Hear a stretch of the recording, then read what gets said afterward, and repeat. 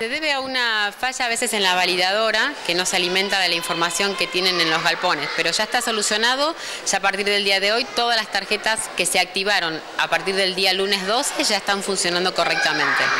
Algunos estudiantes de escuelas de la capital sufrieron inconvenientes al subir a los colectivos en los últimos días, luego de activar la tarjeta magnética gratuita que otorga la Municipalidad de San Miguel de Tucumán.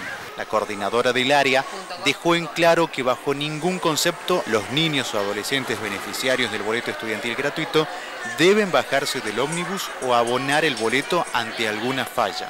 Sí, es que creo que hubo un mal mensaje o una confusión en realidad. Eh, primero yo lo que quería aclarar es que el boleto está pago desde el día que se activa la tarjeta. La persona que realiza el trámite y se activa la tarjeta, desde ese día la municipalidad paga el boleto.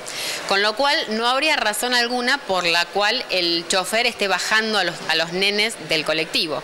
Primero por un tema de seguridad, porque muchos nenes tendrían que bajar y volverse solo a su casa. Y por otro lado porque el boleto ya está pago. Eh, vino gente también a quejarse de que los choferes le hacen pagar, como no funciona la tarjeta o no, no valida, le hacen pagar a la, a la mamá o al papá con la tarjeta ciudadana. Entonces, ¿qué va a pasar?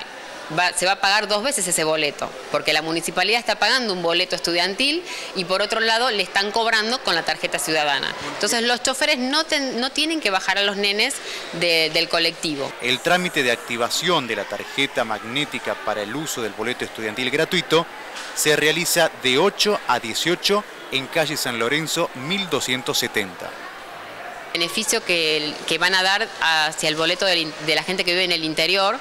Eh, eso recién arranca en abril. Los choferes estuvieron diciendo también que eh, a, los, a, los papás que eso arrancaba en abril, que todavía no está funcionando. Y en Capital sí está funcionando el boleto estudiantil gratuito a partir del 12 de marzo. Desde el 12, ¿cuántas tarjetas han activado? 2.270 tarjetas. ¿El trámite continúa? ¿Qué requisitos se necesitan para hacer bueno, el trámite y activar la tarjeta? El trámite se realiza durante todo el año. Se están dando turnos todavía por internet. Eh, tienen que presentar el certificado escolar, la fotocopia del DNI y en el caso que el nene venga a hacerlo por primera vez, tiene que venir el nene para sacarse la foto.